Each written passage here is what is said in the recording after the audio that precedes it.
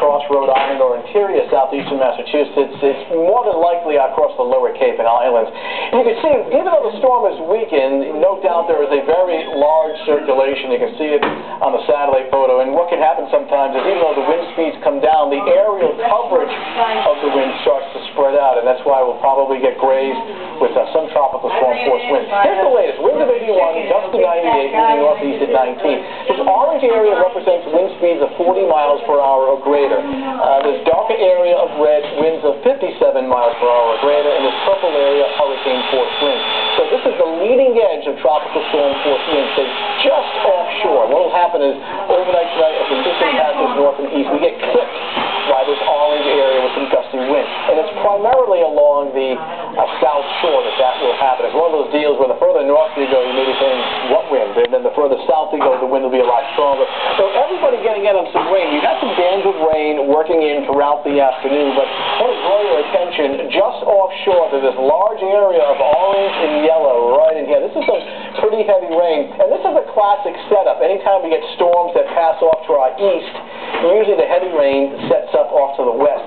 It's this band right in here, more than likely going to do a beeline like this towards southeastern Mass. So that's where the heaviest rain will probably set up on the order of 3 to 5 inches. And again, that's later tonight. And here in Rhode Island, we'll still get clipped with some of this. We're thinking perhaps 1 to 3 Rhode Island and 3 to 5 in southeastern Mass. The waves continue to be uh, large along the south shore. These are live pictures uh, from the Coast Guard House looking out at Narragansett Town Beach, and you can see how these rollers have been coming in all day long. The closest approach to uh, Nantucket is very late tonight. Uh, heading up through Saturday. Now, even though the storm is gone on Saturday, the waves remain agitated. The highest risk as far as damage and wind is confined to the outer Cape only, and most of the rain and wind will be later on this evening and during the overnight with the strongest wind being found at the south shore. Three to five inches of rain, southeastern Mass.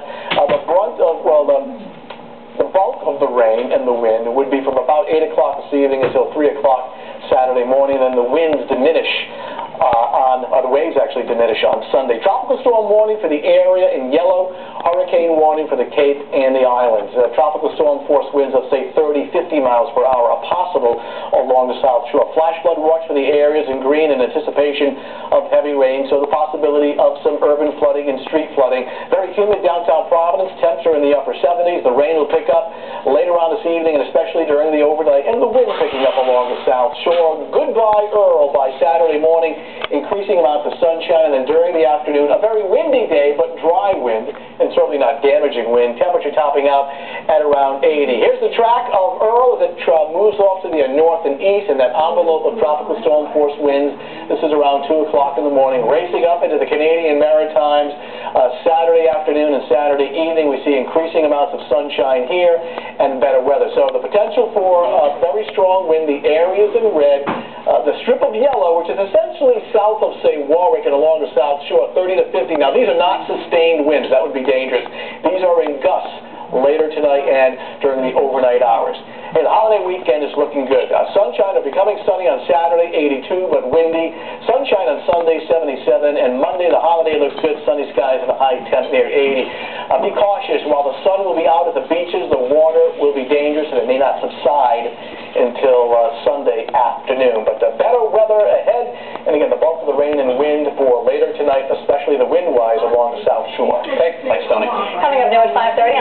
News as we continue our coverage of Hurricane Earl to South County, where many thrill seekers are heading to the coast. And new at 6, Hurricane Earl causing some major problems for Labor Day travelers. Details on flights canceled at the airport.